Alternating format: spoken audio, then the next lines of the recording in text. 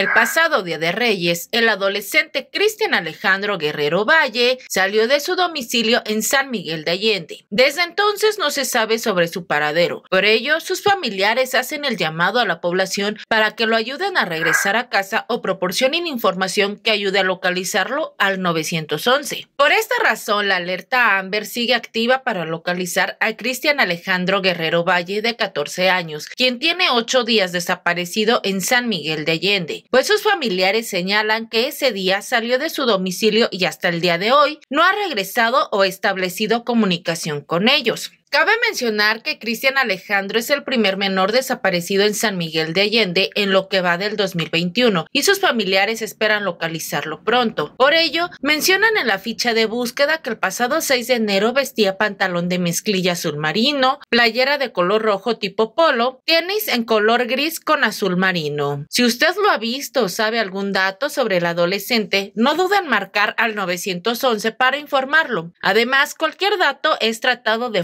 confidencial. Para el sistema de noticias de TV Independencia, con imágenes de Juan Pablo Fiscal informó Gladys Padrón.